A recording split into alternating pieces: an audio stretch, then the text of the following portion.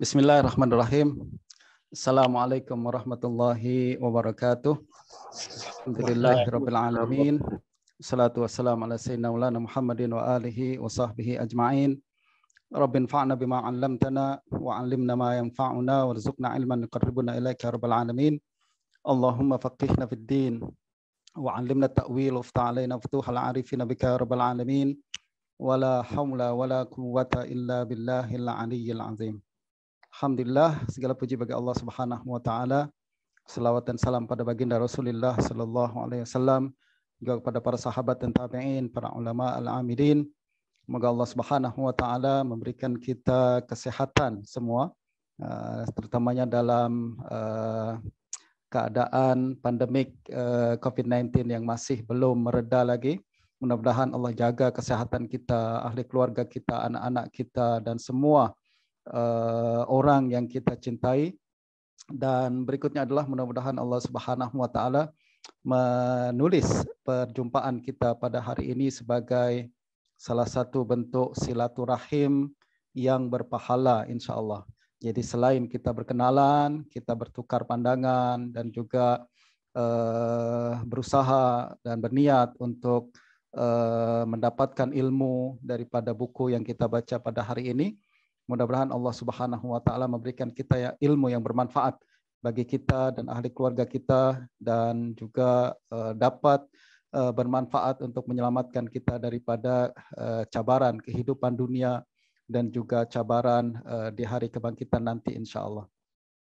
Pertama-tama saya ingin ucapkan uh, banyak terima kasih kepada Al-Fadhil Ustadz Ubay yang sudi menjemput saya untuk uh, bersama-sama dengan rekan-rekan sekalian uh, berbincang berkenaan dengan buku yang saya terjemahkan yaitu buku bertajuk Akidah Ahli Hadis dan buku ini sebenarnya adalah buku yang sudah saya terbitkan sejak beberapa tahun yang lepas. Saya ingat dia keluar pada tahun 2018 uh, akan tapi uh, masih uh, saya yakin kandungan dia adalah kandungan yang tetap kekal relevan untuk kita ketahui dan kita apa dalami uh, semua message dan juga maklumat yang terkandung di dalamnya. Rakan-rakan sekalian yang dirahmati oleh Allah Subhanahu wa taala, uh, sebagaimana yang disebutkan oleh Ustadz Ubay tadi, uh, kita akan uh, melaksanakan daurah ini insya Allah dalam enam sesi ya.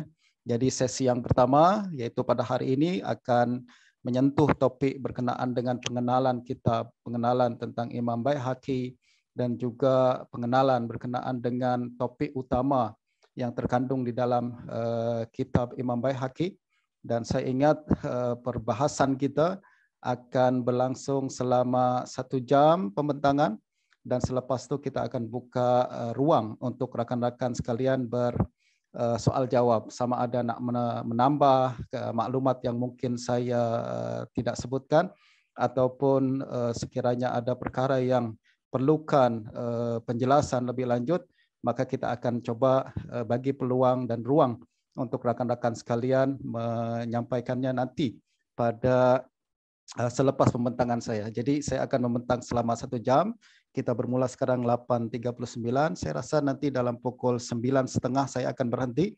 Lalu kita akan mulakan uh, uh, soal jawab.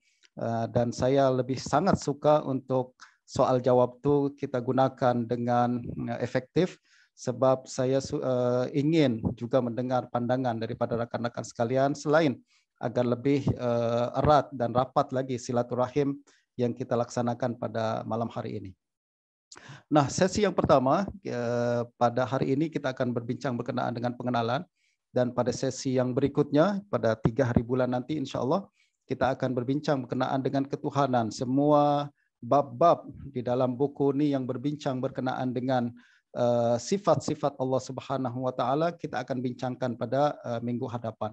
Dan pada sesi yang kedua kita akan berbincang berkenaan dengan qada dan qadar dan semua bab yang berkaitan dengan qada dan qadar akan uh, kita bincangkan pada sesi yang ketiga. Selepas itu kita akan bincang berkenaan dengan alam akhirat, ya, bermula daripada uh, kebangkitan, lalu kemudian uh, sampai ke surga dan neraka, semua akan kita bincangkan pada sesi yang keempat. Yang kelima kita akan bincang berkenaan dengan kenabian dan karomah. Dan yang keenam kita akan berbincang berkenaan dengan isu-isu yang sering berbangkit antara kalangan kita Ahlussunnah wal Jamaah dengan puak Syiah yang uh, mencoba untuk membawa konsepsi-konsepsi tertentu berkenaan dengan Ahlul Bait dan juga konsep imamah. Dan semua ini adalah diambil daripada buku-buku dari buku yang kita uh, bincangkan pada malam hari ini yaitu buku Akidah Al-Hadis karangan Imam terjemahan daripada buku Imam Al-Baihaqi dan oleh karena buku ini cukup tebal saya rasa daurah kita tidak akan mengambil bentuk membaca dari awal sampai akhir. Akan tapi saya akan coba untuk ambil apa namanya ringkasan daripada bab-bab tersebut. Akan tapi saya akan berusaha untuk semua perbahasan bab itu akan kita cover ke semuanya. Tapi tidak dalam bentuk uh, satu persatu kita baca. Akan tapi dibentuk dalam bentuk slide-slide yang saya uh, seperti yang saya sediakan pada malam hari ini. Nah, rekan-rekan sekalian dirahmati Allah Subhanahu wa taala, berbincang berkenaan dengan aspek pendahuluan uh, yang akan untuk kita lebih mengenal berkenaan dengan buku yang kita bincangkan ini, mari kita lihat terlebih dahulu apa sebenarnya uh, asal daripada buku ini. Asal daripada buku ini buku Akidah Ahli Hadis yang saya terjemahkan, dia bukanlah tajuk yang dibuat oleh Imam Baihaqi. Dia adalah tajuk yang saya buat, yang menurut ijtihad saya, dia adalah mencerminkan kandungan yang hendak dibawa oleh Imam uh, Al-Baihaqi. Tajuk asal uh, buku ini, sebagaimana yang dijumpai di dalam manuskrip buku-buku uh, manuskrip-manuskrip lama, adalah dua tajuk yang saya letak di sini. Yang pertama tajuk uh, tersebut adalah al-i'tiqad ala mazhabis salaf. Ini dijumpai dalam sebuah manuskrip tertentu yang ada di tersimpan di Mesir lalu kemudian dicetak uh, pada tahun 1950-an kalau tak salah 1959 buku ini dicetak uh, diterbitkan dalam bahasa Arab dalam tajuk seperti mana yang ter, uh, terdapat di dalam manuskrip tersebut yaitu al-i'tiqad ala mazhabis salaf tapi dalam cetakan tu ada tambahan ahli sunnah wal jamaah. Apa namanya yang tersimpan yang saya nampak yang saya ketahui uh, wallahu alam dia hanya al-i'tiqad ala mazhab salaf. Jadi akidah mengikut mazhab uh, as-salaf. Lalu berikutnya juga adalah uh, buku ini kembali diterbitkan akan tapi dengan membawa tajuk yang berbeza dengan membawa tajuk yang berbeza dan saya yakin tajuk ini lebih tepat uh, seperti mana yang dikehendaki oleh Imam Al-Baihaqi dan ini juga tajuk yang paling banyak ditampilkan di dalam pelbagai manuskrip buku ini ya. Uh, dia adalah al-i'tiqad wal hidayah ila sabilir rasyad. Al-i'tiqad wal hidayah ila sabilir rasyad. Uh, ini adalah tajuk yang uh, apa namanya cukup popular dan saya jumpai buku ni walaupun berbeza tajuk akan tapi yang masyhur di kalangan para ulama adalah mereka selalu mengatakan kitab Al-I'tiqad lil Imam Al-Baihaqi. Kitab Al-I'tiqad lil Imam Baihaqi. Maknanya kitab ni sangat-sangat masyhur. Oh, nisbah dia kepada Imam Baihaqi tidak dinafikan. Bahkan ramai para ulama yang membaca buku ni secara turun temurun. Antara lain yang membaca buku ini adalah Imam Al-Burhan Al-Biqai, Burhanuddin Al-Biqai kepada Imam Ibn Hajar. Dia baca buku ini kepada Imam Ibn Hajar. Dan ramai juga para ulama yang kemudian meringkaskan kandungan buku ini, Iktiqad Imam Baihaqi ini. Jadi uh, mereka melihat bahawa kandungan kitab Al-I'tiqad karya Imam Baihaqi telah menghimpun uh, topik-topik utama yang mencerminkan akidah ahlus sunnah wal jamaah. Justru mereka ringkaskan dalam buku yang lebih mudah untuk menjadi bacaan orang orang awam sebab buku ini cukup tebal dan juga mengandungi hadis-hadis yang cukup banyak lalu uh, setiap hadis dibawakan sanadnya dan ini adalah tradisi ulama hadis terdahulu Justru uh, kalangan ulama hadis, uh, ulama terkemudian mereka coba untuk ringkaskan. Antara orang yang meringkaskan buku ini adalah Imam Abdul Wahab Asy'arani. Dia punya satu ringkasan buku ini dan beberapa ulama yang lain mencoba untuk meringkaskan buku ini. Nah, uh, reality bahwa buku ini diringkas, dibaca di hadapan guru dan disampaikan uh, dari turun ke murun dari dengan sanad yang bersambung menunjukkan bahwa buku ini adalah buku yang sangat-sangat populer. Buku yang uh, sangat terkenal dan diterima ramai oleh kalangan para ulama. Dan saya perlu untuk menyebutkan perkara ini sebab rakan-rakan sekalian, kalau kita membaca kitab-kitab akidah yang pada hari ini diterbitkan, kita akan jumpai beberapa kitab akidah dia tidak popular di zamannya. Justru periwayatan dia tidak bersambung kepada penulis kitab. Kadang ada perawi yang majhul, kadang periwayatan periwayatan tersebut bukan dibaca dari guru kepada guru, akan tapi sekedar wijadah saja, jumpai uh, manuskrip lalu dibaca dan lain sebagainya. Akan tapi kitab Al-I'tiqad selamat daripada uh, keraguan dan uh, apa namanya permasalahan berkenaan dengan kesahihan uh, nisbah buku ini kepada penulis kitab karena dia dibaca oleh para ulama dan bahkan diringkaskan kandungannya dan diterbitkan dalam berbagai uh, bentuk yang lain. nah, kitab Al-I'tiqad karya Imam Al-Baihaqi di uh, kita nak tengok sedikit berkenaan dengan pengarang buku ini. Beliau adalah Abu Bakar Ahmad bin Husain Al-Baihaqi. Beliau dilahirkan pada tahun 384 dan wafat pada tahun 458 dan beliau berasal daripada Khurasan. Khurasan pada zaman itu tentu pada zaman dahulu kawasan-kawasan eh, kawasan umat Islam terlalu luas membentang daripada eh, di di benua eh, Asia bahkan masuk kepada benua, Eropa dan juga benua uh, Afrika justru pada zaman dahulu para uh, apa namanya ke kawasan umat Islam dibagi menjadi beberapa bagian ada yang disebut sebagai kawasan Mesir ada yang disebut sebagai kawasan Syam Syam ini adalah mencakupi pada hari ini beberapa negara seperti Syria, Palestina, kemudian uh, Lubnan dan juga Jordan, yaitu adalah satu kawasan luas yang disebut sebagai Syam. Ada juga kawasan yang disebut sebagai uh, Khurasan. Khurasan pada hari ini adalah meliputi apa namanya negara-negara seperti uh, Uzbekistan, uh, Afghanistan itu semua masuk dalam kawasan Khurasan. Masuk dalam kawasan Khurasan. Dan Imam Al-Baihaqi masuk dalam kawasan Khurasan nih. Masuk dalam kawasan Khurasan dan tepatnya beliau lahir di Baihaq Baihak pada hari ini masuk ke dalam kawasan Iran sebenarnya masuk dalam kawasan Iran dan berdekatan dengan Afghanistan. Dan uh, beliau kemudian uh, apa menetap lama di Nisabur. Sebab pada hari itu Nisabur adalah ibu kota Khurasan. Dia adalah bandar pentadbiran paling penting di Khurasan.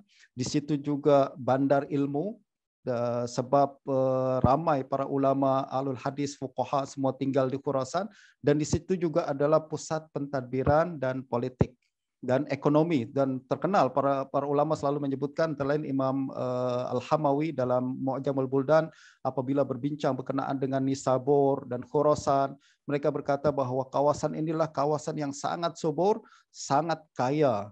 Jadi dari isu dari dari aspek ekonomi da, tidak bermasalah daripada aspek politik juga cukup stable dan setahu saya Khurasan selalu dipegang oleh penguasa yang Sunni tidak macam Irak Irak berganti-ganti penguasa, kadang dipegang Sunni, selepas itu dipegang Syiah, kemudian dipegang lagi oleh Sunni dan lain sebagainya. Pada hari ini kita boleh nampak juga Irak sudah berganti lagi kerajaan kepada kerajaan yang pro Syiah. Akan tapi Khurasan, kata para ulama pada zaman itu, sejak eh, pada masa tersebut selalu dipegang oleh penguasa-penguasa yang Sunni eh, seperti penguasa Samania, penguasa apa namanya Ghazna, Ghaznawiyah dan juga terakhir penguasa Saljuk di masa Imam Baihaqi beliau berada di bawah kekuasaan kerajaan Saljuk. Nah, secara umum Imam Baihaqi ber apa namanya ber uh, dia di dalam fik adalah fik mazhab Syafi'i. Dan untuk makluman rekan-rekan sekalian, Nisabur adalah negeri yang sangat terkenal dengan hadis dan para ulama fik yang ada di, di Nisabur terbagi kepada dua mazhab. Sama ada dia mazhab Syafi'i ataupun mazhab Hanafi. Dan Imam Baihaqi masuk ke dalam kalangan mazhab uh, Syafi'i. Lalu kemudian dalam akidah kita akan nampak nanti bahwa pendekatan Imam Baihaqi adalah akidah Asy'ariyah. Hal itu adalah karena fuqaha mazhab Syafi'i yang ada di Nisabur, majoriti mereka adalah bermazhab Syafi'i. Majoriti mereka adalah berbahasa uh, sorry uh, Syafi'iyah yang ada di Sabur, majoriti mereka adalah berakidah Asy'ari. Dan saya akan bincangkan nanti selepas ini bahwa bagaimana perkembangan uh, berkembang mazhab Asy'ari di zaman Imam uh, Baihaqi di Nisabur insyaallah. Nah, kita tengok sekarang berkenaan dengan konteks keilmuan di Nisabur pada hari itu. Dan untuk makluman tuan-tuan, tadi saya katakan Nisabur masuk dalam kawasan Khurasan dan Khurasan pada abad keempat dan kelima Hijrah adalah Darul Asar. Bahkan Imam Baihaqi, Imam Zahabi dalam kitab uh, Al-Amsar, Zawatil Asar, ya, ini satu kitab yang sangat penting. Beliau mengatakan bahwa Khurasan dia macam Irak. Irak pada hari itu memang tidak dinafikan adalah pusat ilmu. Baghdad menjadi pusat ilmu. Dan ulama hadis, fuqaha ramai ada di Baghdad. Akan tetapi Khurasan tidak kurang hebatnya dengan Baghdad. Uh, Khurasan, sorry, Khurasan tidak kurang hebatnya dengan Irak. Dan Nisabur tidak kurang hebatnya dengan Baghdad. Kenapa? Sebab Nisabur juga dikenal sebagai Darul Asar atau Darul Hadis. Sekaligus Nisabur juga dikenal sebagai kubu kuat mazhab Imam Ash-Syafi'i. Ada seorang ulama berkata eh, bernama Hilal ibn Ala berkata, Eh, syajaratul ilm asluha bil Hijaz wa nuqila waraquha ila al-Iraq wa thamaruha ila Khurasan. Ini ucapan yang sangat ringkas akan tapi sangat cantik untuk menggambarkan apa yang berlaku uh, berkenaan dengan uh, keilmuan yang ada di uh, keilmuan Islam yang ada pada zaman itu. Mereka uh, Hilal bin Ala berkata pokok ilmu pokok ilmu maksudnya adalah hadis, Quran, sunnah adalah pokok ilmu. Asal dia, batang dia asalnya ada di Hijaz, yaitu Mekah dan Madinah, betul? Lalu kemudian daunnya berpindah ke Irak, ya. Selepas itu Irak yang kemudian menjadi pusat ilmu. Mekah dan Madinah macam sudah mulai merudum pada abad 3 dan keempat. Kita jarang lagi mengenal ulama-ulama besar macam Imam Malik dulu selepas uh, pada abad ketiga dan keempat. Sebaliknya kita melihat ulama uh, ada di Baghdad dan ada di Irak kebanyakannya. Namun selepas itu buah dia berpindah ke Khurasan. Bermakna pakar-pakar hadis selepas Irak, uh, fasa Irak adalah Khurasan. Itu sebabnya kita melihat uh, kemuncak ilmu hadis ya, mereka melahirkan Imam Bukhari dan Bukhari berasal dari Khurasan. Mereka melahirkan Imam Muslim berasal dari Khurasan. Tirmizi juga Khurasan, ya kan? Abu Daud dari Sijistan, Sijistani pun dari Khurasan, dia kemudian berpindah ke Irak. Ibnu Majah di Qazwin, di itu pun dah uh, kawasan yang sudah di luar daripada apa namanya Qazwin dia rapat ke Irak, eh rapat ke Khurasan. Nah itu sebabnya mereka mengatakan Ibnu Khuzaimah ada di Khurasan, kemudian Imam Hakim ada di Khurasan dan sekarang kita melihat murid Imam Hakim yaitu Imam Baihaqi ada di Khurasan. Nah, ucapan ni ringkas akan tapi menunjukkan kepada kita uh, kedudukan Khurasan sekaligus menunjukkan kepada kita besarnya ilmu dan juga uh, kayanya ilmu yang ada di Nisabur pada hari itu. Nah, Imam Ibn Salah dalam kitab dia Tabaqat Fuqaha Asy-Syafi'iyah berkata apabila disebut perkataan ahlul hadis di kawasan Khurasan maka yang dimaksudkan adalah ulama mazhab Syafi'i. Ini pun ucapan sangat penting.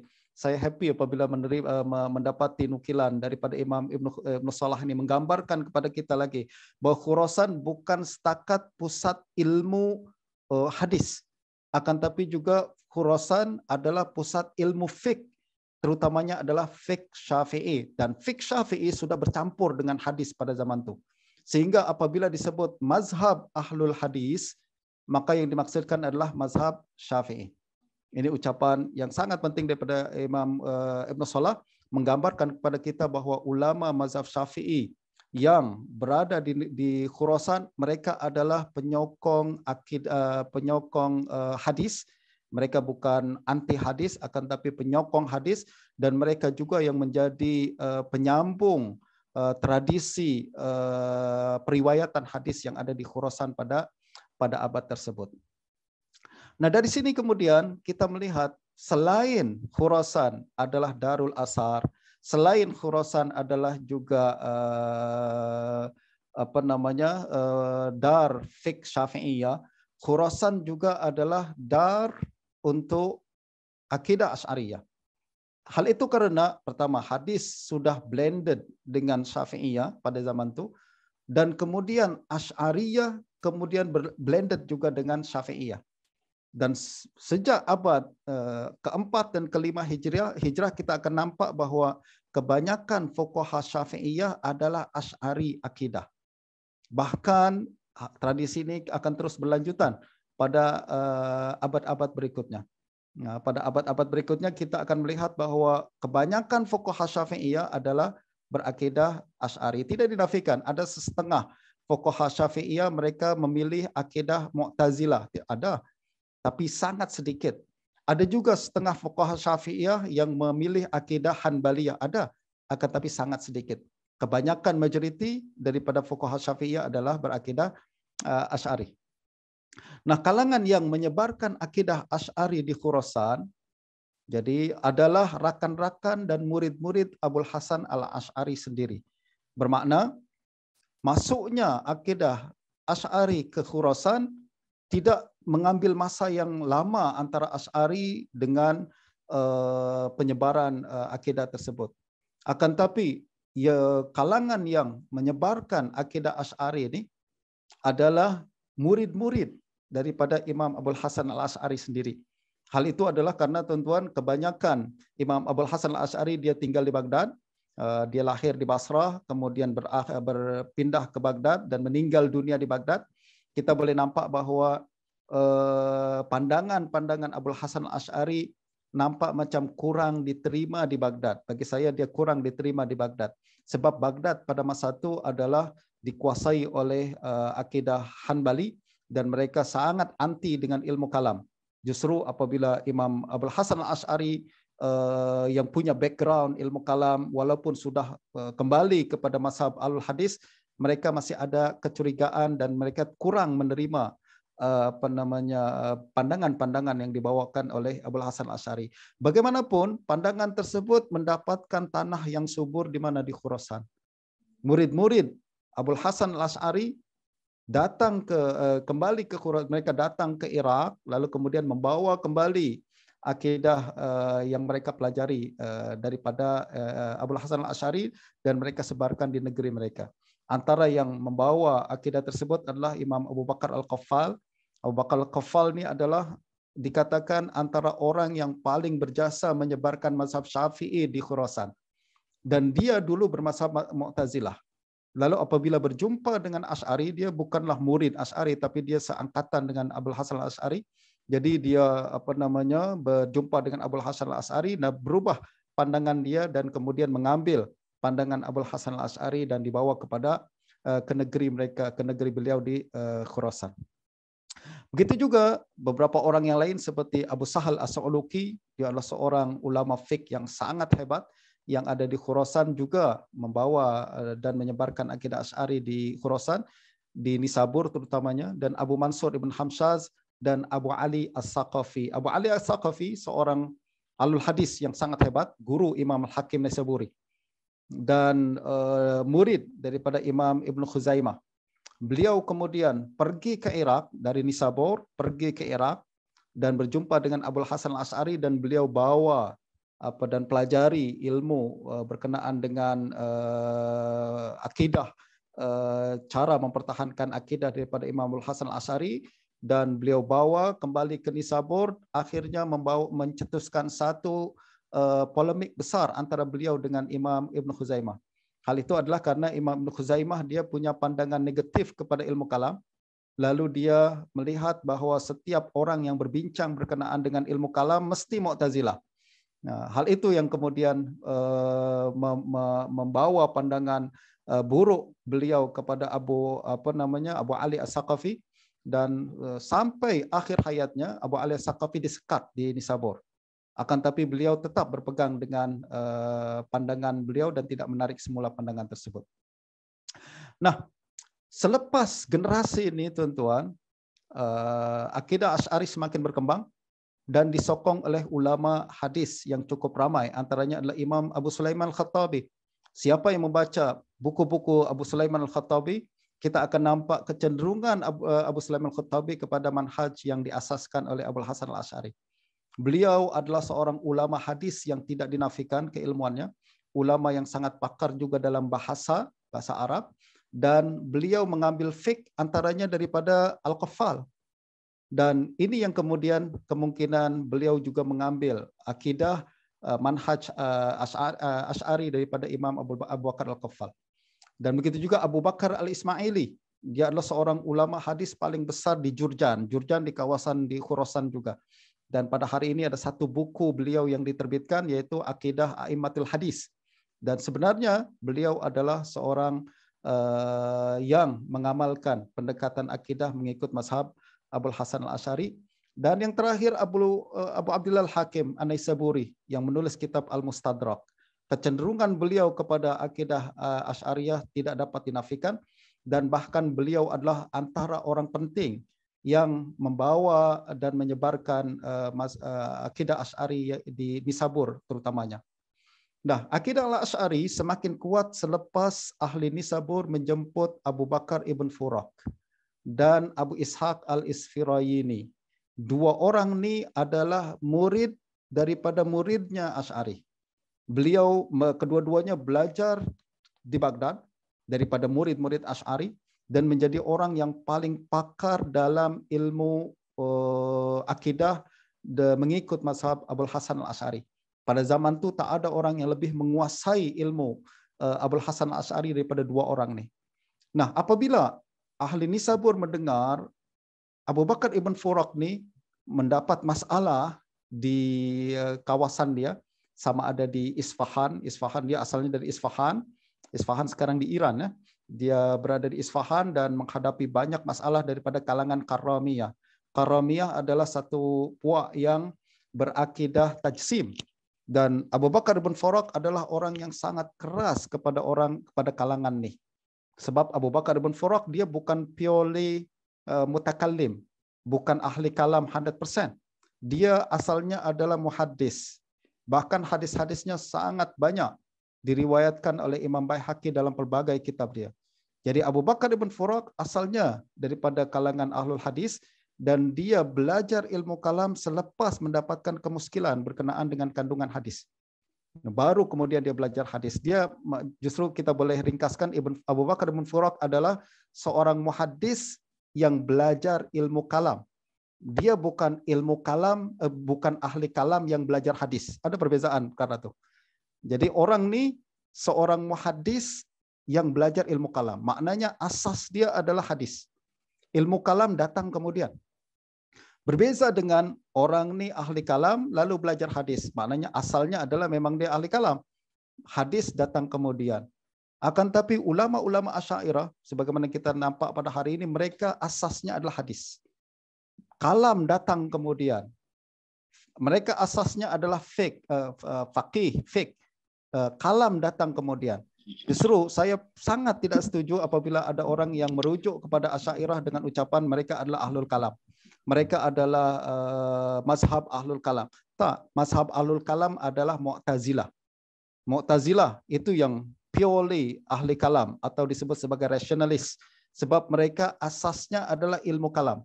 Kalaupun mereka berbincang berkenaan dengan hadis itu datang kemudian. Dia bukan berasal daripada tradisi ahlul hadis. Berbeza dengan asyairah yang kita bincangkan pada hari ini, basic mereka adalah hadis. Lalu kemudian kalam datang kemudian. Maknanya kalam hanya digunakan untuk mempertahankan hadis ya, yang menjadi asal ataupun prinsip asas mereka. Nah, apabila ahli Nisabur mendengar bahwa Abu Bakar ibn Furak menghadapi masalah, ramai orang Karamiyah yang coba untuk menyakiti bahkan nak membunuh dia, maka ahli Nisabur bermusyawarat dan mereka memutuskan untuk meminta Abu Bakar ibn Furak datang ke Nisabur dan tinggal bersama mereka. Siapa yang mencadangkan agar Ibn Furak datang ke Nisabur? Kata Imam Abu Bakar, Imam uh, Al-Hakim, beliau mengatakan dalam kitab dia, apabila bercerita tentang perkara ini, beliau mengatakan kami meminta agar Abu Bakar bin Furak datang ke Nisabur. Maknanya ulama hadis dan fik yang ada di Nisabur yang meminta Ibn Furak datang ke Khurasan dan tinggal di Khurasan dan menyebarkan ilmu di Khurasan atau di Nisabur. Kata Imam Hakim lagi, selepas Ibn Furak datang ke Nisabur, maka para ulama mengaji kepada dia berbagai ilmu dan ilmu dia semakin berkembang yang dipelajari daripada Ibn Furak apa dia? Hadis. Sebab Imam Hakim sendiri meriwayatkan hadis daripada Ibn Furak. Imam Baihaqi meriwayatkan hadis sangat banyak daripada Ibn Furak. Kemudian juga Al-Kushairi, imam yang ada di Nisabur, yang punya tulis, yang menulis kitab Risalah Kushairiyah, dia banyak sekali meriwayatkan hadis daripada Ibn Furak. Menunjukkan bahwa apabila Ibn Furak datang ke Nisabur, dia bukan mengajar ilmu kalam sahaja, akan tapi Beliau mengajar pelbagai cabang ilmu dan salah satunya adalah hadis. Ini sekali lagi saya nak sebutkan perkara ini untuk menekankan bahwa uh, mazhab Asy'ariyah yang dibawa oleh para ulama di Nisabur ini adalah mazhab Ahlul Hadis. Justru perkara ini memberi saya justifikasi untuk mengatakan dan meletakkan tajuk kitab Baihaqi ini sebagai akidah ahli hadis. Sebab ramai orang yang mempertikai. Kenapa saya letakkan uh, tajuk tu bukan akidah baik haki, akan tapi akidah ahli hadis. Alasannya adalah macam tadi. Apa yang dibawakan oleh Imam Haki dan para ulama yang ada di Nisabur pada hari itu adalah akidah ahlul hadis. Dan kalau saya letak tajuk tu akidah baik haki, saya bimbang orang yang membaca buku ini akan menyangka bahwa ini akidah ciptaan baik haki, which is silap. Tak, ini bukan akidah personal Baihaqi. Ini adalah akidah kumpulan ulama yang kita sebut sebagai alul hadis. Dan sekali lagi saya perlu untuk memberikan justifikasi kenapa saya meletakkan tajuk buku tersebut sebagai akidah alul hadis. Nah, sampai apa namanya Ibn Furak tinggal di Nisabur, madrasah dia kekal Eh, dan ramai para ulama yang eh, menjadi alumni eh, madrasah tersebut. Kemudian juga Abu Ishaq Al-Isfirayini adalah ulama besar dalam mazhab Syafi'i dan juga akidah Ash'ari yang juga dijemput datang ke Nisabur dan diberikan satu madrasah khas untuk beliau mengajar di situ. Sampai hari ini kalau tidak salah madrasah Abu Ishaq Al-Isfirayini masih ada di kawasan Iran di Nisabur sana. Nah, mereka kemudian tinggal sampai meninggal dunia di uh, di, di uh, Nisabur. Uh, Ibn Furok dia meninggal dunia di dalam perjalanan pulang daripada Ghazna dan di, di uh, dikuburkan di tempat lain, bukan di Nisabur. Nah, pada saat Imam Baihaqi berada di Nisabur dengan demikian tuan-tuan, maka mazhab Syafi'i telah sebati dengan akidah Asy'ari tadi saya kesimpulan perbincangan tadi. Jadi apabila baik haki datang ke Nisabur, maksudnya baik haki dilahirkan dan menuntut ilmu di Nisabur, kemudian menjadi ulama besar di Nisabur, konteksnya adalah Ash'ari sudah menjadi satu akidah yang established. Dia bukan masih baru lagi, tapi established. Sudah ramai para ulama yang berpegang dengan akidah ini dan meyakini bahwa akidah ini adalah pendekatan yang paling tepat untuk mempertahankan sunnah daripada pelbagai uh, cabaran uh, pada zaman tersebut. Nah, pemikiran Ash'ari pada zaman itu saya boleh rumuskan adalah berusaha untuk membawa pembaharuan dalam wacana akidah ahli hadis dengan menggabungkan penggunaan hadis dan nazar dengan seimbang. Nazar adalah penggunaan akal yang uh, yang tepat dalam menganalisis kandungan hadis. Hal itu karena pada zaman sebelum uh, kedatangan uh, akidah Ash'ari ini, Ahlul Hadis sangat anti dengan pendekatan yang kita sebut sebagai nazar. Mereka lebih suka kepada kita follow saja apa kandungan hadis. Hatta sesetengah alul hadis, mereka tak punya kemahiran untuk membezakan mana hadis yang boleh dijadikan hujah dan mana yang tidak boleh dijadikan hujah. Nah, dan ini berlaku bila berlaku selepas uh, peristiwa mihnah khalqil Quran yang berlaku pada zaman uh, Khalifah Al-Ma'mun bermula pada 218 hingga 237 Hijrah. Dan kita sama-sama tahu ketika mihnah khalqil Quran ni Mu'tazilah berkuasa di kerajaan dan mereka memaksa untuk semua orang ambil akidah yang telah ditetapkan oleh Mu'tazilah bahwa Al-Quran makhluk dan lain sebagainya. Jadi masalah ini memang disebut mihnah khalqil Quran. Akan tapi isu dia lebih besar daripada khalqil Quran. Isunya adalah pendekatan Mu'tazilah tuh yang coba untuk dipaksakan kepada seluruh rakyat. Dan pada masa yang sama mereka ingin menghantam pendekatan yang diamalkan oleh al-hadis dalam perbincangan akidah. Nah, selepas Mihna Khalqil Quran dibatalkan oleh uh, Khalifah Al-Mutawakkil pada tahun 237 Hijrah, Mu'tazilah kehilangan posisi dalam kerajaan, mereka dibuang. Bahkan setiap kali Khalifah Mutawakkil nak uh, melantik seseorang untuk dalam jawatan kerajaan, syaratnya adalah dia tak ada kena mengena dengan Mu'tazilah.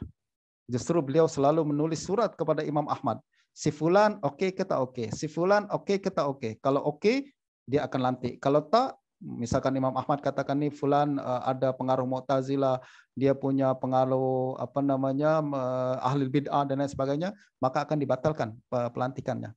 Dengan demikian, pada masa Khalifah Al-Mutawakkil, Mu'tazilah sudah kehilangan tempat. Pada masa yang sama, Ahlul Hadis menggantikan kedudukan Mu'tazilah sebagai penentu kebenaran, mana yang sesat dan mana yang tak sesat.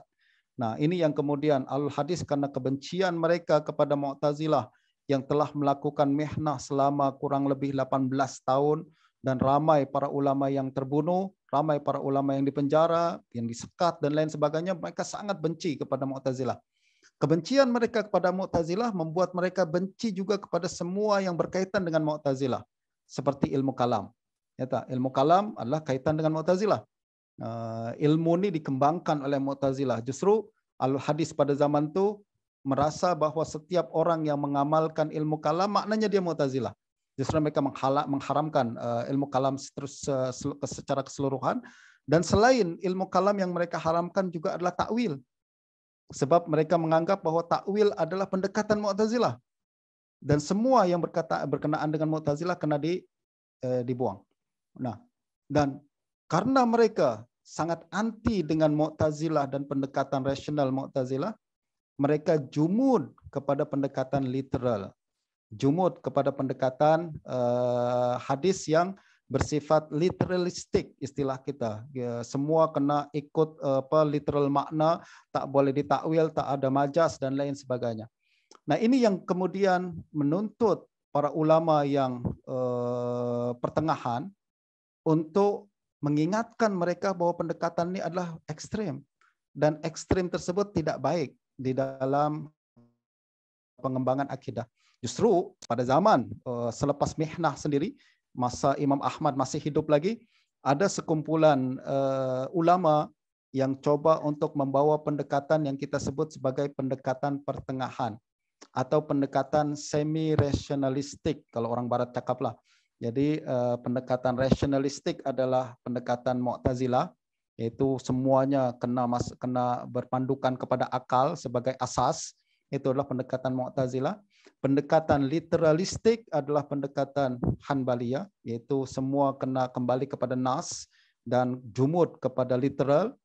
Nah, uh, ada kalangan tertentu yang coba untuk berada di pertengahan atau kita sebut sebagai semi rasionalistik ya mereka ambil pendekatan literal pada masa yang sama mereka juga ambil pendekatan rasional. Jadi mereka coba untuk gabung. Mereka mengatakan ilmu kalam tidak sepenuhnya haram. Yang salah kita haramkanlah. Tapi yang baik kita ambil. Takwil tidak sepenuhnya haram. Takwil yang jauh daripada bahasa Arab yang yang nampak macam takalluf dan memaksa-maksa direka-reka itu yang kita haramkan. Tapi takwil yang selari dengan lughah, selari dengan bahasa Arab dibenarkan. Nah, pendekatan ini uh, pernah dibawakan oleh uh, Ibnu Kullab lalu juga dibawakan oleh Al Haris bin Asad Al Muhasibi, juga dibawakan oleh Hussein bin Ali Al Karabisi, dan ini adalah ulama-ulama yang ada di Baghdad dan kebanyakan mereka bermazhab eh, Syafi'i, bermazhab Syafi'i. Akan tapi karena pada hari itu dominasi Hanabilah dan anti kalam begitu kuat, kumpulan ini selalu mendapat cabaran hebat daripada kalangan Hanabilah. Terutamanya adalah Al-Karabisi. Karabisi sampai meninggal dunia dia kena pulau. Tak boleh dia dan disekat daripada pelbagai aktiviti. Begitu juga uh, Al-Muhasibi, Al-Haris bin Asad Muhasibi. Dia seorang ulama faqih dan ahli tasawuf juga. Ada beberapa ucapan daripada Imam Ahmad yang mencela beliau dan beliau pun kena sekat dan tidak uh, bebas mengembangkan ilmunya di Baghdad. Nah, dari sini kita boleh nampak tuan-tuan bahwa uh, apa namanya situasi yang ada di Baghdad memang tidak kondusif untuk mengembangkan pendekatan semi rasionalistik yang dibawakan oleh Abdul Hasan Al-Asy'ari. Itu sebabnya pendekatan ini berkembang jauh daripada Irak, yaitu Khurasan. Di mana Khurasan kebanyakan mereka bukan bermazhab Hanbali. Mereka bermazhab Syafi'i justru mereka boleh bebas untuk membawa dan mengembangkan pendekatan yang uh, lebih uh, wasati dan pertengahan tersebut. Nah ini yang kemudian dibawakan oleh Imam Abu Bakar Ibn Furaq dalam buku dia Mujarrad Maqalat Syekh Abdul Hasan Al-Ash'ari. Tuan-tuan boleh baca di sini beliau mengatakan i'lamu rahimakumullah anna alladhi hakainahu fi hadzal kitab min maqalat Syekh Abdul Hasan Ali bin Ismail Al-Ash'ari rahimahullah fahuwa ma alaihi nuzar ashabil hadis. Jadi beliau katakan bahwa pandangan-pandangan Abdul Hasan al-Ash'ari yang saya bawakan di sini, dia sebenarnya adalah pandangan nuzar ashabul hadis. Mananya pandangan ahli hadis tapi dalam aliran intelektual. Bukan aliran tradisional. Beliau lalu menjelaskan bahwa alul hadis ini ada beberapa aliran. Ada aliran yang tradisional, yaitu sekedar meriwayatkan hadis saja, meriwayatkan hadis saja, meriwayatkan hadis tanpa ada ulasan dan analisis yang mendalam. Akan tapi ada juga aliran yang kita sebut nuzar. Nuzar ashabul hadis adalah aliran daripada kalangan al hadis tapi pendekatan mereka menghimpun antara hadis dan nazar. Hadis dan nazar. Mereka punya kemahiran untuk berdebat. Mereka punya kemahiran untuk menganalisis. Mereka punya kemahiran untuk membina usul mengembangkan furuk dan lain sebagainya. Nah, dengan ucapan ini kita boleh nampak bahawa pertama mazhab Ash'ari bukan mazhab ahlul kalam seperti mana yang dicoba dikembangkan oleh setengah orang pada hari ini. Mereka mengatakan mazhab Ash'ari adalah mazhab ahlul kalam. Bukan. Mazhab Ash'ari adalah mazhab ahlul hadis seperti yang disebutkan oleh Ibn Furaq. Orang yang paling faham berkenaan dengan nusus Ash'ari sebagaimana Imam Baihaqi adalah orang yang paling paham berkenaan dengan nusus Imam Syafi'i Imam Ibn Furak mengatakan akidah Ash'ari adalah akidah alul hadis, tapi aliran nuzar, aliran intelektual.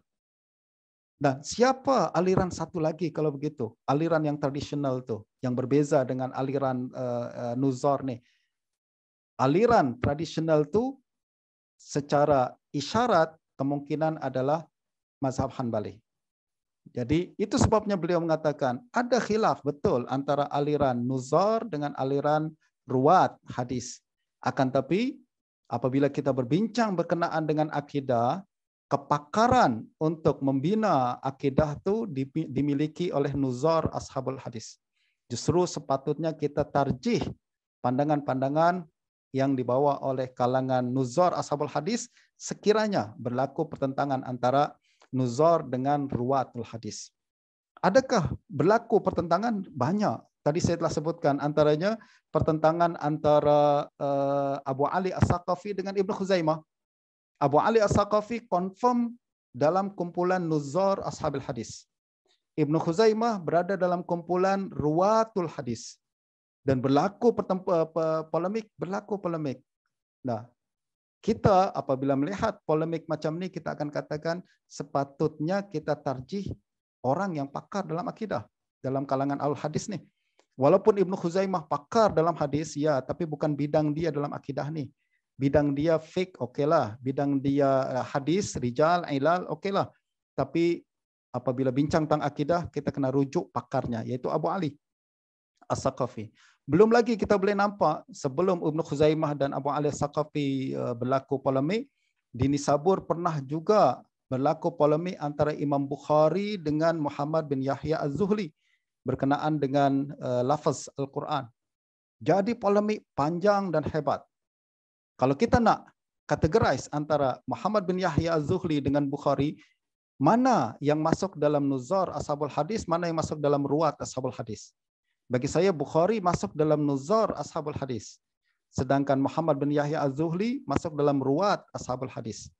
Jadi Bukhari lebih menguasai perbincangan berkenaan dengan uh, akidah berbincang uh, berbanding dengan Muhammad bin Yahya Az-Zuhli. Justru kita kena tarjih ucapan Bukhari daripada yang lain. Dan begitu juga seterusnya. Jadi uh, perkara ini penting untuk kita melihat apa hakikat uh, mazhab Ash'ari yang dibawakan oleh Imam Baihaqi dalam uh, kitab ini. Nah, eh, dalam sejarah Ash'ari tuan-tuan di Nisabur, eh, sering kali berlaku fitnah yang coba diciptakan oleh musuh-musuh Ash'ariyah untuk merusak image mereka dan tujuannya adalah juga untuk membawa pihak kerajaan mengharamkan mereka. Ini adalah satu usaha yang dilakukan oleh kalangan yang tak boleh berdebat. Mereka kalah debat, tak ada jalan lain. Bagaimana nak kalahkan? Kita kena guna kuasa untuk mengharamkan uh, kalangan Asy'ariyah. Nah, perkara ini berlaku pada zaman Sultan Mahmud Subuktikin. Dia adalah seorang Sultan uh, Ghaznawi ketika itu dia berkuasa di Nisabur dan kalangan Karamiyah cukup rapat dengan pihak kerajaan dan mereka sering berdebat dengan Imam Abu Bakar bin Furak. Selalu kalah dengan Imam Ibn Furak dan justru mereka coba untuk memfitnah Ibn Furak dan Asyairah secara umum dengan mengatakan kepada Sultan, wahai Sultan, sebenarnya Asyairah ini akidahnya adalah mereka mengatakan kenabian terputus dengan kematian. Bermakna kalau Nabi sudah meninggal dunia, Nabi sudah tak lagi Nabi dan Rasul. Sultan pun marah tentang perkara ini, eh, mengetahui perkara ini. Eh, case ini akan kita bincang nanti pada masa akan datang eh, pada sesi ke-5 atau ke-6 nanti. Nah, lalu kemudian akan tapi Abu Bakar Ibn Furak dan ramai para ulama menafikan fitnah nih. Termasuk Baihaqi nanti kita akan tengok. Ucapan Imam Baihaqi dalam kitab nih mengatakan ini adalah fitnah. Asyairah tak pernah cakap macam tu dan Asyairah berpandangan baginda Nabi pada hari ini adalah Nabi dan Rasul Allah juga walaupun sudah beralih kepada alam barzakh. Yang berikutnya lagi lebih teruk lagi pada masa Sultan Tughrelbek. Dia adalah Sultan Saljuk selepas Ghazna diambil alih oleh kerajaan uh, Saljuk dan uh, ada juga usaha untuk memfitnah Abul Hasan Al-Asy'ari dan cukup berjaya. Antaranya di, dilakukan sebab dilakukan oleh Wazir Al-Kunduri, wazir sultan itu sendiri dia coba untuk membawakan kepada uh, sultan pandangan bahawa uh, aliran Asy'ari ini sebenarnya lebih teruk daripada Mu'tazilah. Uh, Mu'tazilah dia nyata-nyata katakan Tuhan tak punya sifat. Akan tapi Asy'ariyah dia sebenarnya mengatakan Tuhan tak punya sifat tapi dia tak berani menyatakan perkara itu. Mereka lalu kemudian takwil banyak sifat-sifat Allah Subhanahu wa taala dan lain sebagainya. Dia coba untuk merusak image Asy'ariyah dan Abdul Hasan Al-Asy'ari kepada sultan dan sultan pun termakan dengan hasutan tersebut. Akibatnya pada tahun 445 Hijrah, sultan memerintahkan semua khatib Jumat di seluruh negeri untuk melaknat Asy'ariyah dan Abdul Hasan Al-Asy'ari. Bukan hanya itu, semua ulama kena disekat daripada mengajar uh, di tempat mereka. Dan antara yang terjejas dengan sekatan ini adalah Imam Baihaqi sendiri, Imam Abu Osman As-Sabuni, Imam Imam Al-Haramain terpaksa keluar daripada Nisabur uh, dan tinggal di Mekah dan Madinah. Itu sebabnya beliau digelarkan Imamul Haramain. Karena dalam peristiwa ini beliau terpaksa hijrah dari uh, Nisabur. Dan lain sebagainya. Dan krisis ini bagaimanapun tuan-tuan berakhir apabila Sultan meninggal dunia pada tahun 455 lalu digantikan oleh sultan yang baru Alp Arslan dan Alp Arslan ini dia tak suka dengan Wazir Kunduri dia apa namanya uh, hukum bunuh uh, Al-Kunduri sebab dituduh telah me melakukan korupsi. Justru dihukum bunuh, kemudian disita semua hartanya. Selanjutnya wazir yang baru dilantik yaitu Nizamul Muluk dan Nizamul Muluk ini adalah orang yang sangat rapat dengan Asy'ariyah. Sejak hari itu kemudian ulama Syafi'i Asy'ariyah naik ke permukaan dan kemudian mereka menjadi eh, apa namanya menduduki kedudukan-kedudukan yang sangat penting. Eh, antaranya adalah Nizamul Mulk membuat serangkaian madrasah nizamiyah di negara di beberapa tempat yang cukup ramai menjadi pusat-pusat ilmu. Semuanya yang dilantik sebagai pengetua adalah ulama Asy'ariyah. Eh, di Baghdad, Nizamiyah Cawangan Baghdad dipegang oleh Abu Ishaq Asyirazi Eh, Nizamiyah Cawangan Nisabur dipegang oleh Imamul Haramain. Nanti apabila Al-Ghazali datang, Ghazali pun dilantik untuk menjadi pengetua di, Nizamiyah Baghdad dan ramai lagi para ulama. Dari sini kemudian Asyairah semakin berkembang dan kemuncaknya pada abad ke-6 dan ke-7 Hijrah.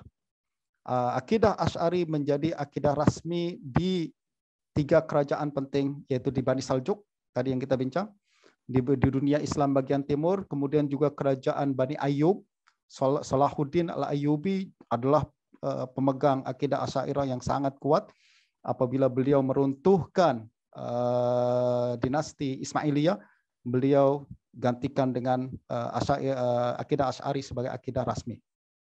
Dan juga kerajaan Muwahhidun yang ada di uh, Andalus uh, juga uh, berpegang kepada uh, akidah Asy'ari. Nah, dari sini kemudian tuan-tuan sejak hari itu kita boleh nampak Asy'ariyah uh, akidah Asy'ari menjadi majoriti pegangan majoriti umat Islam. Uh, dan uh, dia bukan hanya menjadi ikutan kebanyakan fuqaha dan ahli kalam di kalangan fuqaha empat mazhab, namun juga menjadi ikutan para ulama yang memiliki kepakaran di dalam hadis.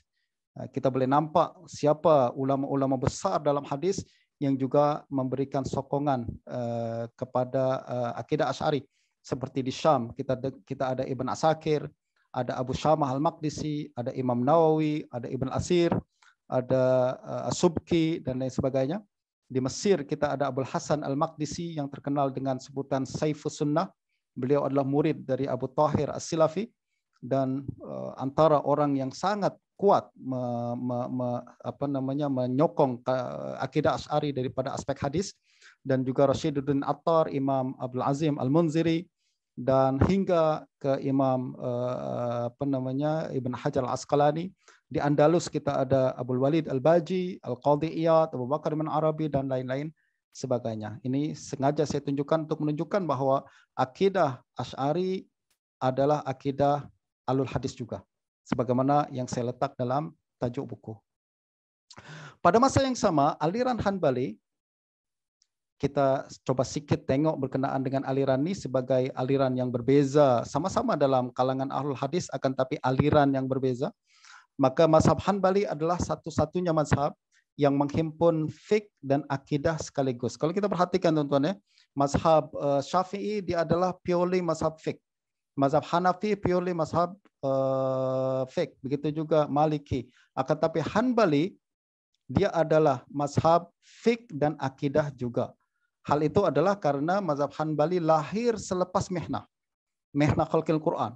Apabila nama Imam Ahmad naik ke permukaan sebagai satu-satunya yang uh, bertahan dalam Mihnah, justru beliau menjadi orang nomor, satu pada zaman itu Nah, ramai kemudian kalangan berikutnya coba untuk me, me, melahirkan satu mazhab yang dinisbahkan kepada Imam uh, Ahmad bin Hanbal. Nah, oleh karena nuansa akidah begitu kuat selepas Mehna, kita boleh nampak bahwa akidah Hanbali adalah akidah uh, aliran apa uh, mazhab fik dan akidah sekaligus. Jadi ada seorang yang berakidah nih mazhabnya adalah Hanbali dan akidahnya adalah akidah uh, apa namanya Hanbali. Nah, Hanabila kemudian menjadi kumpulan majoriti di Baghdad selepas abad ketiga Hijrah hingga abad ke-6 Hijrah. Uh, pada masa itu mereka punya kuasa hebat untuk menekan kalangan-kalangan yang tidak setuju dengan mereka. Nanti kita akan tengok uh, berlaku banyak polemik antara Asy'ariyah dan Hanabilah dan Hanabilah selalu menang di Baghdad sebab mereka punya kuasa, punya uh, kedekatan dengan khalifah dan lain-lain sebagainya.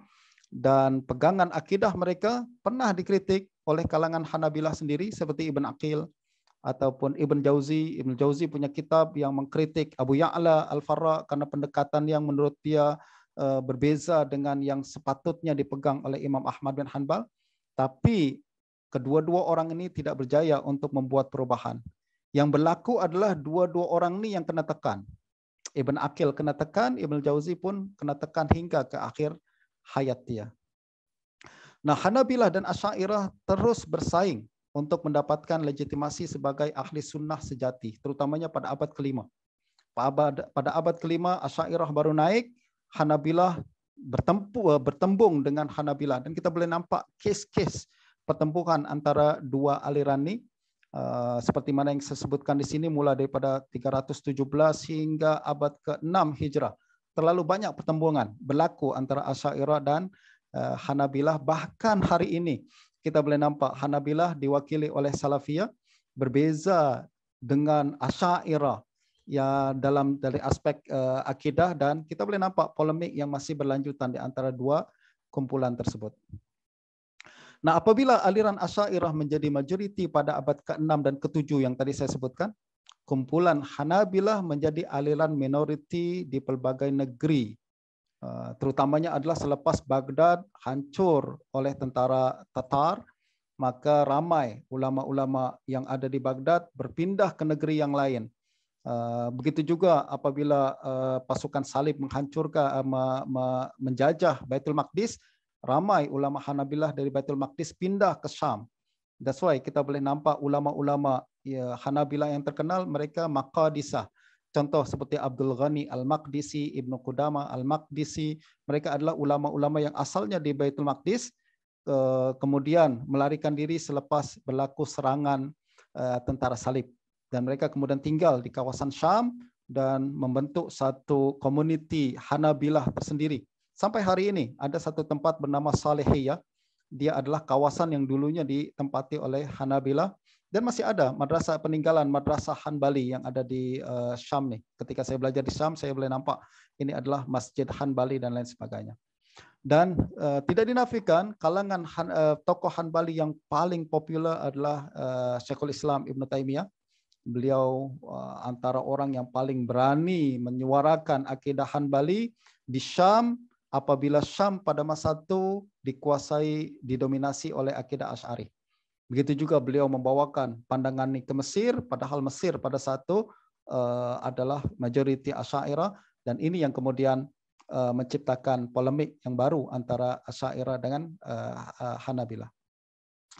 Pada era Utsmani, tuan-tuan, kita boleh nampak sebenarnya ulama Hanabilah, jadi selepas Bani Ayub berpindah ke Bani Mamluk, ke dinasti Mamluk, Mamluk, kemudian dikalahkan oleh Turki Utsmani, pada masa Turki Utsmani, ulama Hanabilah sudah nampak kita melihat mereka sudah mulai merapat kepada Asy'ariyah. Kalau dulu mereka nampak macam Asy'ariyah ni bukan Ahlussunnah wal Jamaah, akan tapi uh, pada uh, abad ni kita boleh nampak uh, ramai tokoh-tokoh Hanabilah seperti Al-Qarami, As-Safarini dan Al-Qaddumi mengiktiraf Hanaf uh, Asy'ariyah dan Maturidiyah sebagai Ahlus wal Jamaah. Mereka mengatakan Ahlus wal Jamaah tiga kumpulan yaitu Ahlul Asar atau Hanabila, eh, Asy'ariyah dan juga Maturidiyah. Nah, ini saya melihat bahwa pada abad ini sudah mula ada usaha untuk merapatkan eh, barisan di antara dua-dua kumpulan which is sangat baik. Dan itu yang kita harapkan supaya tak lagi ada pertembungan antara dua-dua aliran yang sebenarnya masuk dalam kawasan uh, Al-Sunnah wal Jamaah. Bagaimanapun aliran Hanbali Najd masih mengekalkan pandangan tidak bersimpati kepada Asy'ariyah. Hanbali Najd dibawakan oleh Syekh Muhammad bin Abdul Wahab. Eh, kita boleh nampak pandangan uh, Hanbali ini berbeza dengan pandangan Hanbali yang diamalkan oleh para ulama Hanabilah uh, di zaman Utsmani yang lain. Tadi zaman Utsmani ini Syekh Muhammad Abdul Wahab pun berada pada zaman Utsmani, tapi pandangan dia berbeza dengan pandangan Safarini, pandangan Al-Qarami, bahkan mereka mengatakan ulama-ulama yang coba mendekatkan, memasukkan asyairah dalam kalangan ahlus sunnah ini telah melakukan kesilapan. Mereka menyebut ulama ini sebagai Hanabilah mutaakhirin dan pandangan mereka yang menerima asyairah dan maturidiyah sebagai bagian daripada ahlus sunnah adalah satu pandangan yang silap. Nah, ini yang kemudian dikembangkan oleh uh, apa uh, kalangan uh, salafiyah pada uh, pada hari ini. Masa saya saya rasa tak cukup untuk saya berbincang terlalu panjang lagi berkenaan perkara tersebut. Saya cadangkan tuan-tuan dapatkan buku baru saya yang baru terbit khas untuk berbincang perkara ini yaitu bertajuk hadis hadis sifat. Oke, saya akan gunakan beberapa menit nih. Saya sebenarnya sudah habis masa saya, akan tapi saya minta peluang sedikit untuk membahas sedikit berkenaan dengan kandungan buku uh, Imam Baihaqi. Panduk buku Imam Baihaqi ini di dalam bagian mukaddimah beliau mengatakan tujuan utama beliau menulis ini adalah untuk menjelaskan perkara-perkara yang wajib diyakini dan diperakui oleh setiap mukallaf jadi beliau mengatakan saya sudah tulis banyak buku ya, berkenaan dengan usul fik, berkenaan dengan usul hadis, berkenaan dengan fik sekaligus. Akan tapi akidah belum ada. Justru beliau nak terbitkan satu buku ringkasan yang khas berbincang tentang topik-topik yang wajib diyakini dan diperakui oleh setiap mukallaf. Justru ini tujuan utama beliau. Semua perbahasan dalam buku ini adalah bahasan-bahasan yang wajib diyakini oleh ahlus sunnah wal jamaah. Ini adalah usul ahlus sunnah wal jamaah dan siapa yang menyalahi usul-usul ini maka dia telah terkeluar daripada ahlus sunnah wal jamaah. Nah, pada bagian yang pertama, pada bab yang pertama, beliau meletakkan tajuk bab awwalu ma yajibu 'alal 'abdi ma'rifatuhu wal iqraru bihi. Bab berkenaan dengan perkara pertama yang wajib di yakini dan diperakui oleh seorang mukallaf. Apa dia? Apa dia perkara pertama yang wajib dilakukan, di, diperakui oleh uh, seorang mukallaf? Beliau bawakan ayat Al-Quran, beberapa ayat Al-Quran yang semuanya mengandungi kalimat i'lam. Ya kan? Mengandungi kalimat i'lam. Contoh fa'lam annahu la ilaha illallah. Lalu fa'lamu annallaha maulakum fa'lamu annama unzila bi'ilmillah wa annahu wa alla ilaha illahu fahal antum muslimun tengok perintah i'lam adalah perintah Allah secara direct kepada kita yang menyuruh kita untuk mengetahui. Apa makna mengetahui? Ilm maknanya yakin tuan-tuan. Al ilm adalah yakin. Lawanan ilm adalah zan. Justru apabila Allah mengatakan fa'lamu bermakna yakinilah wahai umat Islam annahu la ilaha illallah. Justru dari sini Imam Baihaqi berkata, perkara pertama yang wajib dilakukan oleh seorang mukallaf adalah meyakini. Nah, perkara ini berbeza dengan pandangan sesetengah kalangan yang mengatakan perkara pertama yang wajib dilakukan mukallaf adalah berfikir misalkan. Ada lagi yang mengatakan perkara yang wajib dilakukan mukallaf adalah ragu-ragu. Ada beberapa pandangan tentang perkara itu, tapi Imam Hakim mengatakan tak. Yang betul adalah perkara pertama yang wajib dilakukan mukallaf adalah meyakini bahwa tiada Tuhan selain Allah dan semua usul-usul akidah yang wajib diketahui, wajib diyakini terlebih dahulu. Lalu ayat yang berikutnya beliau membawakan qulu amanna billah wa ma unzila ilaina. Ini juga perintah daripada Allah Subhanahu wa taala untuk mengucapkan, ucapkanlah aman nabilah saya beriman kepada Allah. Maknanya selain meyakini perkara yang perlu juga dilakukan oleh mukallaf adalah mengucapkan, mengikrarkan dengan lisan. Ini apa namanya istinbat daripada Imam uh, Baihaqi berkenaan dengan perkara pertama yang mesti dilakukan oleh seorang mukallaf dan beliau mengatakan sebagaimana ayat Al-Qur'an memerintahkan untuk meyakini dan mengucapkan hadis-hadis juga macam itu juga beliau bawakan beberapa hadis yang juga membawa uh, menyebutkan apa perkara yang mesti dilakukan uh, oleh seorang mukallaf yaitu umirtu an uqatilan nas hatta yaqulu la ilaha illallah. Ini perintah untuk kita berikrar, mengatakan dengan lisan bahwa tiada Tuhan pada Allah, eh, selain Allah Subhanahu wa taala. Hadis yang kedua juga eh, apa namanya menunjukkan ikrar, ya, syahadah. Beliau mengatakan izha Nabi SAW mengatakan izhab bina'layya hatain faman laqita min wara'i hadzal ha'id yashhadu an la ilaha illallah mustaiqinan biha qalbah fabashirhu bil jannah. Mustaiqinan menunjukkan bahwa yakin. Ini menunjukkan bahwa yakin adalah syarat utama seseorang untuk masuk ke dalam surga. Hati yang ketiga, eh, hadis yang ketiga, beliau mengatakan eh, Nabi SAW mengatakan man mata wa huwa ya'lam annahu la ilaha illallah dakhalal jannah. Siapa yang mati sambil meyakini bahwa tiada Tuhan selain Allah dia akan masuk surga. Ini menunjukkan bahwa eh, keyakinan adalah syarat yang memasukkan seorang ke dalam surga. Bukannya berpikir bukannya eh, menganalisis bukannya belajar. Tak keyakinan itulah perkara pertama dan utama yang mesti dilakukan sebab dia syarat untuk masuk ke dalam ke dalam surga. Dan hadis yang keempat juga macam tuh Imam Baihaqi lalu mengatakan fafil hadisil awal bayan ma yajibu alal mad'u an ya'tiya bihi hatta yahqina bihi damah. Wa fil hadis sani bayan ma yajibu alaihi minal jama' baina ma'rifatil qalb wal iqrar bil lisan ma'al imkan hatta yasih imanuhu. Jadi hadis kedua menunjukkan bahwa selain yakin dengan hati wajib sebut dengan lisan. Khabari salis wal rabi syartul wafat alal iman hatta yastahiq dukhul al jannah.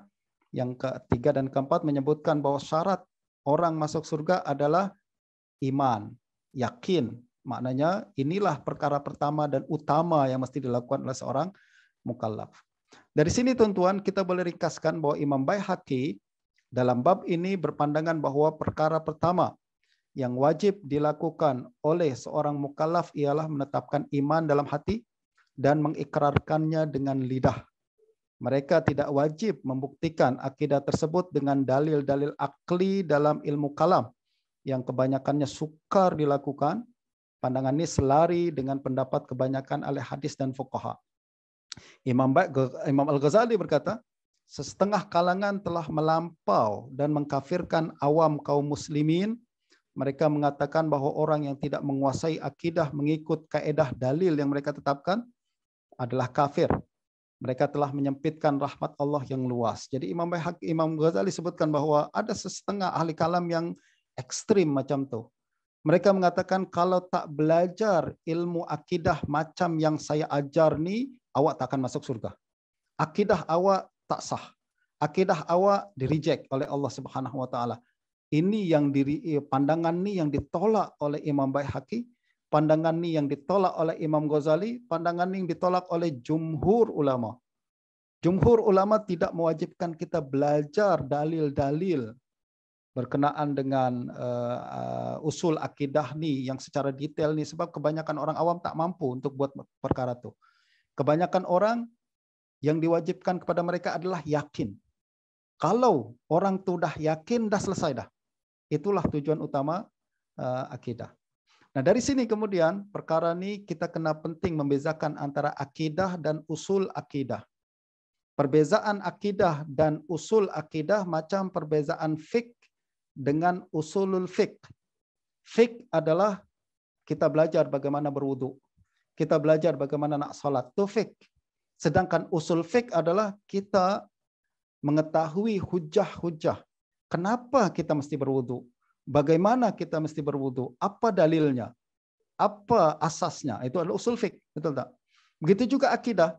Akidah jelas. Al-Quran dah jelaskan apa yang mesti kita yakini bahwa Allah Subhanahu wa taala ahad, lam yalid walam yulad, dah yakin dah selesai dah urusan kita. Sedangkan usul akidah adalah kita nak pertahankan kalau ada orang nak mempertikai perkara ini. Bagaimana? Apa dalilnya secara akli dan nakli dan lain sebagainya. Itu usul akidah. Nah, para ulama menjelaskan yang wajib bagi awam kaum muslimin adalah akidah. Sedangkan usul akidah ini fardu kifayah. Ini fardu kifayah. Mesti ada orang yang paham perkara ini. Mesti ada orang yang siap mempertahankan akidah Islam apabila diperlukan. Ya, tapi bukan untuk semua orang. Ada orang tertentu yang macam kita yang hadir pada hari ini wajib belajar. Kenapa? Kita ini adalah tokoh masyarakat, orang pelajar ilmu agama eh, yang satu hari nanti akan berhadapan dengan pelbagai karenah masyarakat, ada yang eh, setuju dengan tak setuju, ada yang apa namanya mempertikai akidah dan lain sebagainya. Kita kena tahu dalil akli dan nakli untuk mempertahankan akidah ini. Akan tapi jangan wajibkan perkara ini kepada seluruh umat Islam umat Islam awam, kata Imam uh, Al-Ghazali, kadang kalau kita bawakan perkara ini kepada mereka malah membahayakan. Sebab mereka asalnya sudah yakin akidah Islam, kita bawa kepada perbahasan ini mula ragu-ragu, akhirnya mereka malah mempertikai akidah Islam. Tapi masalahnya pada hari ini perbahasan berkenaan dengan uh, syubhat syubhat berkenaan akidah sudah terlalu banyak di media sosial saya rasa uh, tidak lagi perbahasan akidah ni elit untuk kalangan macam kita saja. Kita perlu juga apabila diperlukan untuk menjelaskan perkara ini kepada orang awam. Nah, kata Imam Al-Ghazali dalam uh, Al-Iqtisad fil I'tiqad, beliau mengatakan i'lam annal adillah allati nuharriruha fi hadzal ilm tajri majral adwiyah. Beliau katakan semua yang saya bincangkan dalam ilmu uh, akidah ni adalah macam obat. Kalau obat maknanya tuan-tuan jangan kasih ke semua orang, kasih ke orang sakit sahaja. Kalau semua orang, orang sehat makan obat mungkin dia malah sakit. Ya tak? Obat hanya untuk sakit saja dan ulama yang menggunakan obat ni kata Imam Al-Ghazali wa tabibul musta'milu laha illam yakun haziqan saqibal aqli razina ra'i kana ma yufsiduhu bidawaihi aksar mimma yuslihuhu. Nah, eh, dokter yang mengguna obat ini pun kena pandai. Kalau dia ni tak cerdik, dia salah gunakan obat, maka yang dia ya apa namanya kerusakannya lebih banyak daripada uh, kebaikannya. Nah, ini yang berlaku. Sayangnya ini yang berlaku pada zaman ini apabila ramai uh, ustaz-ustaz di media sosial di YouTube dan lain sebagainya bincang tentang akidah dengan cara yang tidak bijaksana sehingga bukan membuat akidah orang awam semakin terjaga malah membuat kebimbangan dan kekeliruan. Nah, justru terpaksa juga dari dulu saya tak suka bincang tentang akidah akan tapi apabila melihat uh, kekeliruan yang sangat sering berlaku dalam setiap perbincangan tentang akidah terpaksa juga saya bincang tentang perkara ini dan bahkan terpaksa juga menghasilkan beberapa buku yang mudah-mudahan boleh meluruskan uh, kekeliruan-kekeliruan tersebut. Nah, Imam Al-Ghazali mengatakan yang penting sebenarnya dalam akidah ini adalah yang diminta, di, yang dilakukan oleh baginda Nabi SAW, inna sahibas syara' salawatullah alaih lam yutalibil arab fi mukhatabatihi iyahum bi aksara minat tasdiq. Nabi SAW apabila orang Arab masuk Islam, Nabi tak pernah tanya. Uh, Nabi cuma minta dia awak beriman tak? Ucapkan syahadat la ilaha illallah. Dah terima sebagai orang Islam. Tak ada Nabi suruh uh, awak ni tak sah ni syahadah ni kecuali kalau awak belajar ilmu ni. Awak kena tahu dalilnya, akli, nakli dan lain sebagainya. Tak, tak pernah dilakukan oleh baginda Nabi. Tapi kita hari ini ada setengah orang yang mewajibkan perkara itu. Jadi mereka mengatakan batal syahadah kalau tak faham apa ilmu yang saya sampaikan. Which is dia adalah satu perkara yang telah menyimpang daripada apa yang telah ditetapkan oleh para ulama kita dari kalangan ahlul kalam seperti Imam Ghazali ataupun ahlul hadis seperti Imam uh, Al-Baihaqi. Nah justru Imam Ghazali mengatakan jenis manusia dalam perkara ini terbagi menjadi empat. Pertama orang awam yang memiliki akidah yang kuat sejak awal lagi mereka sudah punya akidah yang betul. Kita tak payah lagi kita sibukkan dengan perkara-perkara yang akan malah mengelirukan mereka. Cukup kita ajar mereka bagaimana nak beribadah, ajar mereka bagaimana menyembah Allah Subhanahu wa taala, dah selesai. Jangan disibukkan dengan perkara-perkara yang berat sehingga apa namanya tidak dapat ditampung oleh akal mereka sebab perbahasan akidah ini sangat berat. Hanya orang yang macam kita saja nih pada hari ini mampu untuk membawa perkara ini. Yang kedua, ada puak yang menyimpang yang degil memang. Ada puak ni memang degil sangat. kita nak debat sama dia pun tak guna, kata Imam Ghazali. Orang yang macam ni kita kena guna kuasa. Uh, guna apa namanya penguasa hukum mereka, ban mereka, sekat mereka, ah selesai. Sebab kita debat pun tak ada guna. Dia tetap kalah pun dia tetap lanjut juga dengan pandangan pelik mereka. Yang ketiga adalah orang awam yang tengah keliru. Ah, ada setengah orang awam yang dan ini yang paling banyak pada zaman sekarang. Mereka dengar video ustaz cakap macam ni tentang akidah, kelirulah. Yang semula dia ingat akidah dia macam ni, tapi sekarang sudah macam tu. Dah berubahlah. Uh, justru dia tanya kepada kita, bagaimana nak selesaikan perkara ni?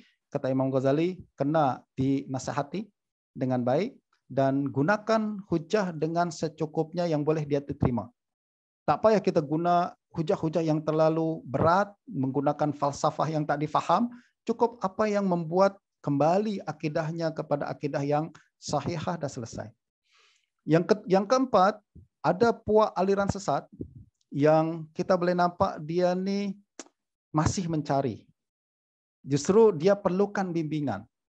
Nah, kita nampak kalau kita tunjukkan dengan hujah-hujah yang tepat, dia akan kembali ke pangkal jalan. Nah, orang macam ni kita boleh apa namanya gunakan hujah-hujah yang kita dapatkan dalam kitab-kitab akidah untuk membawa mereka ke pangkal, ke pangkal jalan. Tapi kata Imam Ghazali, gunakan dengan lembut. Bukan dengan perdebatan yang merendahkan dan menghinakan. Beliau sebutkan dalam iktisad. Sebab semakin orang direndahkan, semakin dia degil. Semakin kita rendahkan dan kita perlekeh pandangan salah dia, dia semakin kuat pegang. Justru Imam Ghazali ingatkan bahwa Imam Ghazali ini orang yang paling paham berkenaan dengan perdebatan, pengalaman dia uh, sudah terlalu banyak. Beliau ingatkan perkara itu bahwa apabila kita niat kita dalam berdebat ini ingin tarik dia ke pangkal jalan, guna pendekatan lembut, bukan pendekatan yang memperlekeh, pendekatan yang memalukan orang lain atau membuat dia jatuh meruah dia. Sebab kalau kita buat, dia makin pegang dengan kesesatan dia. Justru kita akan uh, miss uh, objektif yang kita kehendaki dengan perkara ini. Nah, dengan demikian kita tujuan saya nak tunjukkan bahwa tuan-tuan apa yang ditunjukkan oleh Imam Baihaqi berkenaan dengan perkara yang wajib dan pertama dilakukan oleh mukallaf adalah selari dengan kebanyakan uh, para apa namanya uh, ulama di kalangan asyairah yang lain. Masa saya sudah habis ya, masya Allah. Saya minta maaf uh, terlalu lewat saya bagi uh, peluang kalau masih ada masa untuk persoal jawab insya Allah. Tapi ini masih permulaan, masih ada banyak masa lagi untuk kita berbincang insya Allah pada sesi yang lain. Saya serahkan kepada ketua uh, pengurus majelis, Dubai.